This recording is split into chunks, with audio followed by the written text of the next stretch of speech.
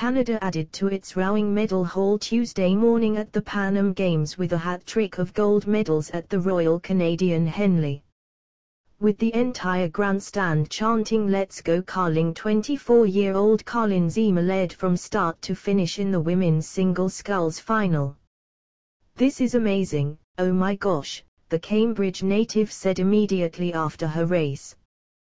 The crowd is just unbelievable. It makes it so much more exciting when they get so wound up. You can just start to hear the roar of the crowd and it gives me goosebumps on my legs and goosebumps on my arms. The crowd had little time to relax as Liz Fenje, of Victoria, and Katharine Sauks, of Owen Sound, had them stirred in the very next race, similarly leading from start to finish in the women's lightweight double sculls final. Fenje and Sauks finished the 2,000-meter race in 6.57, a new personal best. Canada has dominated the rowing events over the last two days, winning four gold and two bronze over the last two days.